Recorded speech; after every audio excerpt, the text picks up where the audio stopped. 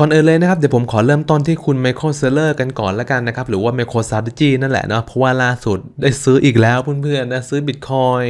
ไปอีก 1,045 บิตคอยน์นะครับ หรือว่าเม็ดเงินเนี่ยราวๆ 29 ล้านเหรียญดอลลาร์สหรัฐนั่นแหละนะครับผมซึ่งค่าเฉลี่ยที่ซื้อเนี่ยก็ราวๆ28,000เออประมาณนั้น 28,016 เหรียญต่อ1บิตคอยน์นั่นแหละนะครับ ซึ่งก็ได้ส่งผลให้ตอนนี้MicroStrategy นะครับถือบิตคอยน์140,000 เป๊ะๆเพื่อนๆเลยดูว่าตัวเลขสวยนะซื้อให้มันครบพอดีนะฮะ1 4 0 0 0 0บิตคอยน์ในณขณะนี้นั่นแหละนะครับเรียกได้ว่าซัดเต็มข้อโล้เต็มแข้ง อยู่พอสมควรในตอนนี้นั่นแหละนะครับสำหรับพี่ใหญ่ไมเคิลเซเลอร์คุณคนนี้นั่นเองนะครับ ซึ่งการซื้อในครั้งนี้ของคุณไมเคิลเซเลอร์นะครับก็ได้ส่งผลให้ตอนนี้ MicroStrategy ถือบิตคอยน์1 4 0 0 0 0เนาะและถือบิตคอยน์มากกว่าทาง Mt. Gox เสียอีกเพื่อนๆนะเรียกได้ว่ามาไล่ซื้อตอนหลังโหดกว่านะฮะนะก็ถือว่ายังซื้ออยู่อย่างต่อเนื่องในตอนนี้นะครับสำหรับพี่ใหญ่ไมเคิลเซเลอร์นั่นแหละนะครับนะก็ถือว่าเป็นหนึ่งจุดที่ทำให้ทาง MicroStrategy ถ้าบิตคอยน์ไปแบบล้านเหรียญเนี่ยโอ้โหไม่แน่นะ MicroStrategy อาจจะเป็นอีกหนึ่งบริษัทที่รวยที่สุดในโลกก็เป็นไปได้นะเพื่อนๆนะ อันนี้ก็ต้องไปว่ากันแล้วก็ไปรอดูกันต่ออีกทีหนึ่งว่าบิตคอยจะไป 1 ล้านเหรียญจะไป 10 ล้านเหรียญ ได้หรือไม่นะครับซึ่งถ้าไปได้เนี่ยโอ้โหไม่อยากจะคิดเลยว่า MicroStrategy จะมีมูลค่าเท่าไหร่นั่นแหละนะครับ ทีนี้ขอข้ามฟากไปดูเอาคอยอย่าง Ethereum กันบ้างนะครับ ก็ถือว่าไปแตะ2,000 เหมือนกันนะ ก่อนจะถูกตบลงมาถูกต้องไหมฮะ ก็ถือว่าสูงที่สุดในรอบ 8 เดือนเลยก็ว่าได้นะครับ ถือว่าเวลาที่คริปโตมันขึ้นเนี่ย ก็ถือว่าขึ้นเร็วใช้ได้อยู่พอสมควรในณขณะนี้นั่นแหละนะครับนะ ซึ่งก็เลยได้ส่งผลให้ตอนนี้ถ้าเราดูเหรียญอีเทเรียมเปรียบเทียบกับ Bitcoin ในณขณะนี้ดูเหมือนว่า อีจะเริ่มทำได้ดีกว่าบิตคอยแล้วในตอนนี้เพื่อนๆ ซึ่งถ้าเราดูเป็นชาร์ต4ชั่วโมงเนี่ยจะสังเกตว่ามันเบรกหรือว่าดูเหมือนจะเบรกสูงในเรื่องของตัว Channel หรือว่ากรอบตรงนี้ได้แล้วนั่นแหละนะครับนะก็ถือว่าเป็นไปได้ไหมว่าหลังจากนี้อีน่าจะทำได้ดีกว่าบิตคอยแล้วเพราะว่าก่อนอันนี้ถ้าเราเห็นน่าจะสังเกตว่ามันลงมาโดยเสมอมาเลยเพื่อนๆนะมันลงมาเรื่อยๆเลยถูกต้องไหมลงมาลงมาลงมาอยู่เรื่อยๆเลยนะฮะเออเพราะว่าก่อนอันนี้ ก็เข้าใจได้นะ เพราะว่าบิตคอยเนี่ยทำได้ทำได้ดีกว่าเหรียญออลคอยส่วนใหญ่นะครับ ซึ่งก็ต้องรอดูกันต่อไปนะฮะว่าเป็นไปได้ไหมว่าอีทจะเริ่มทำได้ดีกว่าบิตคอยหลังจากนี้หรือไม่ ประกอบกับถ้าเราดูชาร์ตอีเทเรียมบิตคอยในขณะนี้จะสังเกตว่า RSI มันก็อยู่ต่ำเตี้ยและดินมากๆแล้วถูกต้องไหมหรือว่าอยู่ด้านล่างมากๆแล้วนั่นแหละในขณะนี้ก็คือ หลุดพ้นคือลงไป โอเวอร์โซมากๆแล้ว และกลับขึ้นมาแล้วนั่นแหละในขณะนี้นะครับซึ่งถ้าเราดูถ้าจะโอเวอร์โซขนาดนี้คือต้องย้อนกลับไปในช่วงแบบตอนเดือนจูนปี 2022 หรือว่าเดือนปีหรือว่าปีที่แล้วแล้วเเลยนั่นแหละนะฮะก็เลยดูว่ารอกันมาเท่าไหร่ฮะรอกันมาประมาณ 275 วันนะอะก็ถือว่าเป็นอีกหนึ่งครั้งละกันที่ลงไป oversold และกลับขึ้นมาแล้วเป็นไปได้ไหมว่าหลังจากนี้ ETH จะเริ่มคึกคักหลังจากนี้ อันนี้ก็ต้องไปว่ากันอีกทีหนึ่งนะครับ ซึ่งถ้ามันคึกคักจริงๆ ก็หมายความว่า มีโอกาสไหมที่เอาคอยต่างๆ ก็น่าจะคึกคักเหมือนอย่างทางชาร์ตชาร์ตนี้นะครับว่าเม็ดเงินต่างๆเนี่ยก็น่าจะไปที่บิตคอยน์ แล้วก็หลังจากนั้นพอบิตคอยน์ตื้อๆมีโอกาสไหมที่จะไปที่ Ethereum แล้วก็ไปที่ large cap แล้วก็ไปที่ altcoin นะครับก็ต้องรอดูกันต่อไปว่า จะเป็นยังไงแต่ดูเหมือนว่าตอนนี้เป็นครั้งแรกแล้วกันเพื่อนๆ เป็นครั้งแรกที่เราได้เห็นว่าเออตอนนี้อีเทเรียมเริ่มแข็งแกร่ง คือเป็นในรอบแบบหลายเดือนนะเพื่อนๆนะในรอบหลายเดือนนะฮะอ่าตอนนี้ก็ถือว่าอีทชักเริ่มโชว์ความแข็งแกร่ง แล้วก็ในเรื่องของตัว RSI ที่โอเวอร์โซหนักมากๆแล้วในช่วงที่ผ่านมา ตอนนี้ดูเหมือนว่าจะเด้งกลับขึ้นไป ได้แล้วในตอนนี้ก็ต้องรอดูกันต่อไปว่า สุดท้ายแล้วชาร์จจะเพย์เอาออกมายังไงนะครับนะอันนี้ก็ต้องรอดูกันต่อไปว่าจะเป็นขาขึ้นได้แล้วหรือยังสำหรับ Ethereum นะครับ เพราะว่าวันที่ 12 นี้เพื่อนๆ วันที่ 12 นี้จะมีการอัปเกรด Ethereum เซี่ยงไฮ้ถูกต้องไหมครับ ซึ่งการอัปเกรดในครั้งนี้จะทำให้คนสามารถถอนเหรียญ Ethereum ออกมาได้ แต่ก็ไม่ได้ถอนได้ทั้งหมดนะเพื่อนๆ ซึ่งส่วนใหญ่ที่ถอนได้เนี่ยจะเป็นการถอนสำหรับในเรื่องของตัว reward นะครับสำหรับในเรื่องของตัว reward ก่อนนะครับที่ที่ได้กันมานั่นแหละนะครับสำหรับ reward ในช่วงก่อนอันนี้ที่ใครเอาเหรียญ ETH เข้าไปฝากไว้ใน Beacon Chain นั้นจะได้รับการถอนออกมานั่นแหละนะครับ ซึ่งเขาก็คาดการณ์แหละว่าน่าที่จะมีแรงเทขายนะเพื่อนะครับเพื่อนๆสำหรับในเรื่องของตัวเหรียญ ETH นั่นเองนะซึ่งถ้าเราดูนะครับ reward ที่มีโอกาสแล้วกันนะ ที่จะโดนเอาออกมาเทนะครับ ซึ่งเขาบอกว่า reward ตอนนี้อยู่ที่ราวๆ1.1 ล้าน ETH เพื่อนๆ หรือว่าพูดง่ายเลยว่าน่าจะมีราวๆเป็นล้านล้าน ETH ที่มีโอกาสนะที่จะถูกถอนออกมา แต่เราไม่รู้ว่าไอ้หนึ่งจุดหนึ่งล้านนี้ จะโดนเทขายเท่าไหร่ อันนี้คงจะไม่มีใครรู้เพื่อนๆนะต้องรอดูกันต่อไปนะครับ แต่ก็น่าลุ้นแล้วก็น่าทึ่เสียวอยู่พอสมควรนะครับ แล้วก็มีในเรื่องของเงินนะครับ ผมจากทางฝั่งเซลเซียสเนาะที่รอในเรื่องของการถอนออกมาได้อยู่เนี่ยราวๆ 1 5 8 0 0 0 อีทนั่นแหละนะครับ ซึ่งก็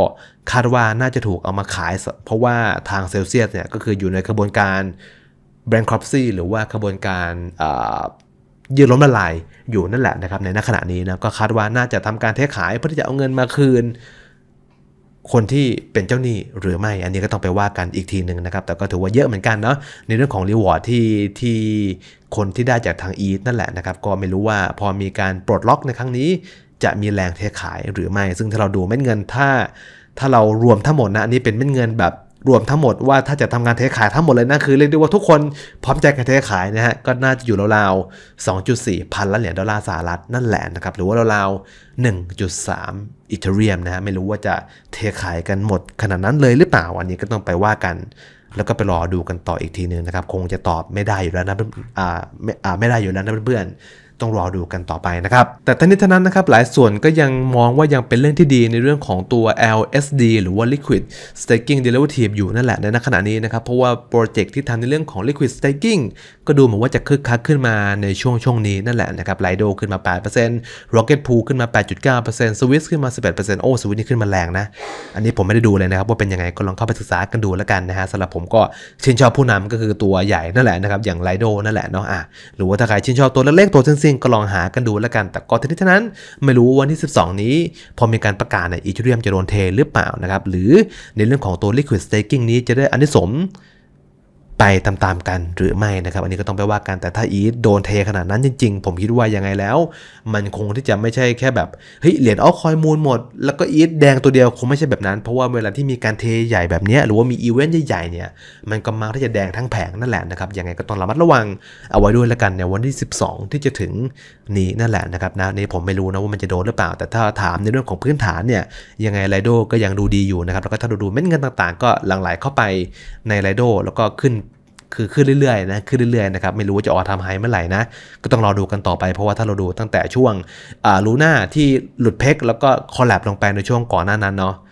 หายไปเลยนะฮะหายไปเลยเนาะแล้วก็หลังจากนั้นตั้งแต่ FTX Collab เนี่ย ก็เริ่มฟื้นฟูขึ้นมาเรื่อยๆ ในขณะนี้ก็หวังว่าจะไม่มีอะไรคอลแลบหรือว่าไม่มีอะไรพังหลังจากนี้ละกันนะครับนะซึ่งถ้าไม่มีอะไรพังเนี่ยก็น่าที่จะเป็นค่อยๆไต่ขึ้นไป ค่อยๆขาขึ้น ค่อยๆขาขึ้นสำหรับไลโดอยู่ในณขณะนี้นะฮะก็รอดูกันต่อไปว่า วันที่ 12 นี้จะเป็นยังไงนะครับนะหลายคนก็กังวล แต่ผมคิดว่ามันก็เป็นเรื่องปกตินะที่เวลาที่มีอีเวนต์ใหญ่ๆแล้วก็มีสิ่งที่เราไม่รู้เนี่ยมันก็จะเป็นสิ่งที่ปกติที่หลายคนก็จะกังวล หรือแม้กระทั่งเวลาที่เหรียญอะไรที่มันขึ้นเรื่อยๆ ก็ตามเนี่ยระหว่างทางที่มันขึ้นมันไม่ใช่ว่าเราจะแฮปปี้ยิ้มได้ตอนที่มันขึ้นนะเพื่อนๆ มันไม่ใช่อย่างนั้นอยู่แล้วถูกต้องไหมมันก็จะมีการเครียด มีข่าวลบๆออกมาที่จะคอยกระตุ้นให้เราเทขาย เป็นเรื่องปกติอยู่แล้วนะครับในโลกของการลงทุนเนาะอารมณ์แบบช่วงโควิด หุ้นขึ้นนะฮะไม่รู้ขึ้นได้ไงเหมือนกันแต่มันขึ้นนะฮะพอขึ้นไปสักพักหนึ่งอ๋อโอเค QE ถูกต้องไหมเฮ้ยแต่ QE แต่เขาก็จะเลิก QE แล้วนะก็ยังขึ้นไปเรื่อยๆ คือตลอดทางมันจะมีเรื่องที่ทำให้เราเครียด มีเรื่องทำให้เรากังวลอยู่แล้วนะครับ ยังไงก็หาจังหวะแล้วก็หาในเรื่องของตัวชาร์ตหรือว่า ข้อกำหนดต่างๆ ที่เป็นวินัยที่เราสามารถทำได้ทำซ้ำได้บ่อยๆนั่นแหละนะครับหรือว่า trade setup ต่างๆ ที่เราต้องเตรียมเอาไว้ เพื่อที่จะเอาไว้รองรับในเรื่องของข่าวสารที่มันจะมาคอยเขย่า ให้เราเทขายนั่นแหละนะครับเพื่อนๆมันเป็นเรื่องปกติที่มันจะเกิดเหตุการณ์แบบนั้น อยู่แล้วนั่นแหละก็ต้องหาจังหวะเข้าจังหวะออกเอาไว้ด้วยแล้วกันนะครับเพื่อนๆ ต่อไปนะครับเดี๋ยวเราไปดูที่ทาง Polygon กันบ้างนะครับเพื่อนๆ ก็ถือว่าล่าสุดในเรื่องของการใช้งาน เยอะขึ้นเรื่อยๆ ในขณะนี้นะครับหลังจากที่มีการเปิดตัวในช่วงปลาย เดือนที่ผ่านมาเนาะสำหรับตัว CK EVM นะครับ ตอนนี้ถ้าเราดูก็ถือว่าเม็ดเงินหลั่งไหลเข้าไปราวๆ 2.7 ล้านเหรียญดอลลาร์สหรัฐในช่วงสัปดาห์ที่ผ่านมานะครับ ก็ถือว่าเป็นเขาเรียกว่าเป็นรุ่นใหญ่แล้วกันนะที่เข้ามาทำตัว layer 2 เนาะก็ถือว่าได้รับความนิยมที่เพิ่มมากขึ้นในนักขณะนี้นั่นแหละนะครับท่ามกลางความวิตกกังวลของ community จากทางฝั่ง Arbitrum ไม่รู้ว่าคนจะแห่มาใช้ Polygon zkEVM นี้หรือไม่ อันนี้ก็ต้องไปว่ากันแล้วก็ไปรอดูกันต่ออีกทีหนึ่งนะครับผม แต่ทั้งนี้ทั้งนั้นถ้าเราดูในเรื่องของ transaction ต่อวินาที หรือว่าจำนวน transaction ต่างๆ ที่เกิดการใช้งานในณขณะนี้ก็ถือว่า Arbitrum ยังเป็นที่ 1 อยู่นะอยู่ที่ 14 transaction ต่อวินาทีนะครับเรียกได้ว่าตอนนี้ในเรื่องของ transaction บนโลก DeFi ยังไม่ได้หนาแน่นอะไรเท่าไหร่นะครับก็คือโอเคแหละคุณจะบอกว่าใช้เป็นได้เป็นพันๆเป็นหมื่นๆ transaction ต่อวินาทีเนาะแต่การใช้งานจริงๆ ตอนนี้มันยังไม่ได้ถึงขนาดนั้นนะครับเรียกได้ว่า Mac เนี่ยอยู่ที่ราวๆ31เท่านั้นเองนะไม่ได้เยอะอะไรมากมายนะครับ แต่ที่ผมเห็นเยอะที่สุดเนี่ยน่าจะเป็น Immutable X นะ Immutable X ซึ่งคนก็ใช้ในเรื่องของตัวเกมแล้วก็ NFT นั่นแหละนะครับ อยู่ที่ 39.35 transaction ต่อวินาทีในขณะนี้นะครับก็ถือว่าเยอะใช้ได้นะเยอะใช้ได้ แต่จริงมันก็ไม่ได้เยอะหรอกแต่หมายถึงว่าก็ถือว่าเยอะกว่าหลายตัวนั่นแหละในขณะนี้นะครับนะก็ถือว่าตอนนี้ถ้าเราดูในเรื่องของการใช้งานจริง Arbitrum ก็ยังเยอะอยู่ยังเยอะกว่า Polygon นะเออยังเยอะอยู่อ่ายังเยอะกว่า Polygon ต้องรอดูกันต่อไปว่า ในอนาคตผ่านไปแล้วเนี่ยแอปพลิเคชันแอปพลิเคชันต่างๆ ที่จะมาสร้างอยู่บน zkEVM สำหรับ Polygon จะเรียกการใช้งานมากน้อยแค่ไหน เพราะว่าต้องยอมรับว่าตอนนี้เขาเพิ่งที่จะเปิดตัวเนาะแอปพลิเคชันต่างๆเนี่ยมันก็ยังน้อยอยู่นั่นแหละนะครับ มันยังเทียบกับตัว Polygon เออขอไปตัว Arbitrum ยังไม่ได้ เพราะว่า Arbitrum มีมานานเอ่อคือเปิดมานานแล้ว แล้วก็มีแอปพลิเคชันต่างๆ ค่อนข้างเยอะแล้ว การใช้งานมันก็เยอะกว่าเป็นเรื่องปกตินะครับ อันนี้ก็ต้องรอดูใน long run เนาะว่าจะเป็นยังไงนะครับ แต่ก็ถือว่าตอนนี้ คนก็เริ่มที่จะนิยมชมชอบ Polygon อยู่พอสมควรนะครับ เพราะว่าถือว่าเป็นโปรเจกต์เก่าแก่ แล้วก็ได้รับความเชื่อถืออยู่มาก ๆ เลยนั่นแหละนะครับสำหรับเพื่อนๆคนไหนนะครับที่ชื่นชอบเอาคอยนะครับยังไงอย่าลืมเข้าไปดูในคลิปก่อนหน้านี้กันได้นะครับ ผมจะทำโหมดเอาไว้สำหรับตัว playlist ดูจังหวะหากราฟแล้วกันนะครับเผื่อถ้าใครชื่นชอบในเรื่องของกราฟอันนี้คือกราฟ pure ๆไม่ได้มีข่าวอะไรนะเผื่อถ้าใครสนใจก็ลองเข้าไปดูใน playlist นี้กันได้นะครับผมในคลิปวิดีโอ ที่แล้วเนาะก็ได้พูดถึงในเรื่องของเอาคอยต่างๆ Bitcoin Ethereum Matic OP Lido นะลองเข้าไปดูคิดว่าน่าจะชอบ แล้วก็ได้ประโยชน์กันไป แล้วก็เพื่อนๆคนไหนนะครับที่ชื่นชอบในเรื่องของการเทรดนะครับตอนนี้ Bybit Bitget OKX BingX ก็มีโปรโมชั่นพิเศษสำหรับแฟนๆคริปโตล็อกในณขณะนี้นะครับตอนนี้ Bybit มีโบนัสสำหรับการเทรดถึง 35 USD เนาะแล้วก็ Bitget สามารถรับโบนัสเทรดสูงสุดถึง 200 USD นะครับเพื่อนๆนะยังไงอย่าลืมเข้าไปสำหรับ อย่าลืมเข้าไปดูสำหรับกิจกรรมของ b y b i t แล้วก็บิตเกตกันได้นะครับ หมดในวันที่ 23 นี้นะสำหรับทาง b y b i t ก็คือสามารถรับได้เลยนั่นแหละนะครับ เพียงแค่ทำการฝากแล้วก็ทำการเทรดกันนั่นแหละ แล้วก็กดไปที่ตรง Reward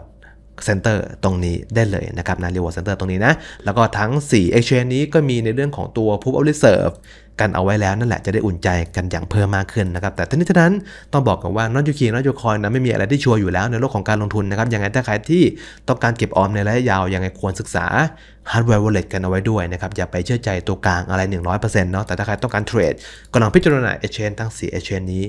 เอาไว้แล้วกันนะครับ คิดว่าน่าจะเป็นประโยชน์สำหรับทุกเรียลต่างๆนะ ผมแปะลิงก์เอาไว้ด้านใต้คลิปวิดีโอนี้แล้วนั่นแหละนะครับ โอเคก็สำหรับคลิปวิดีโอนี้มีเพียงเท่านี้นะครับยังไงเดี๋ยวไปเจอกันในคลิปต่อไปนะครับผมสำหรับวันนี้มีเพียงเท่านี้เนาะสวัสดีครับ